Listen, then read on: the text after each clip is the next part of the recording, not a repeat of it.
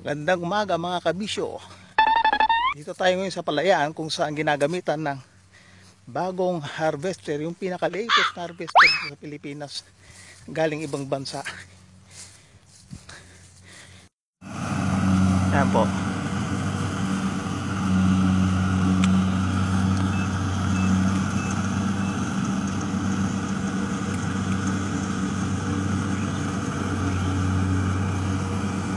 Ayos, di ba?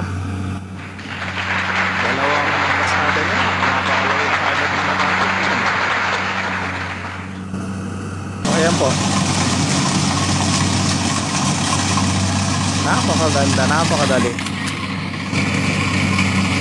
Ganito po ka-check ang mga pa gamit ng Pilipinas pa ngayon.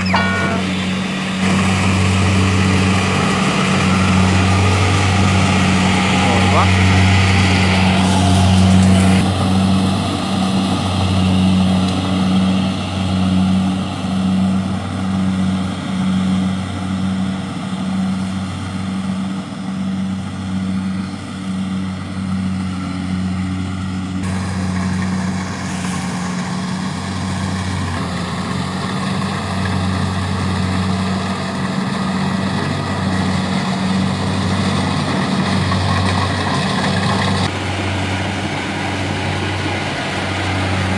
Meron po siyang dalawang tao na assistant na nagtatali ng sako kapag ito ay napuno na ng palay.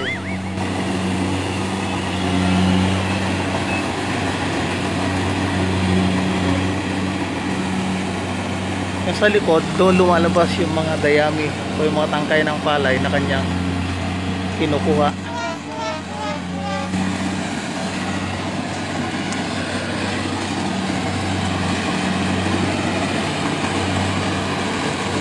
Ayan po.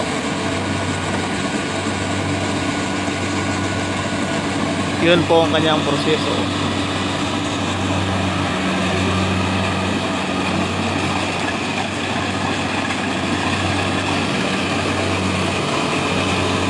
So umiikot na yun, yun yung kumukuha ng palay para itulak dun sa kanyang meron siyang natawag na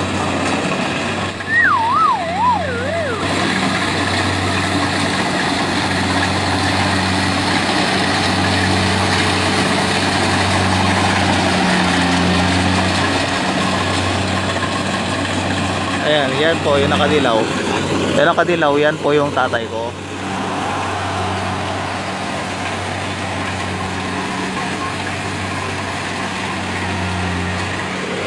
Ganyan kabilis ang pag-ani ng palay dito sa amin ngayon. Yan ang laki ng tulong ng bagong harvester na galing sa ibang bansa.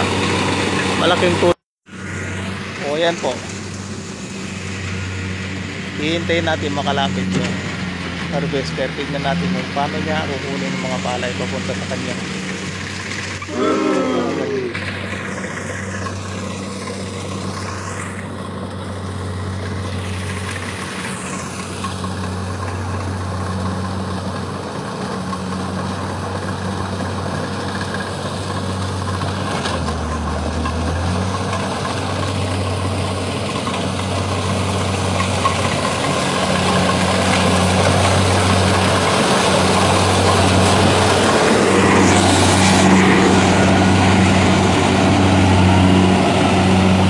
Ayan.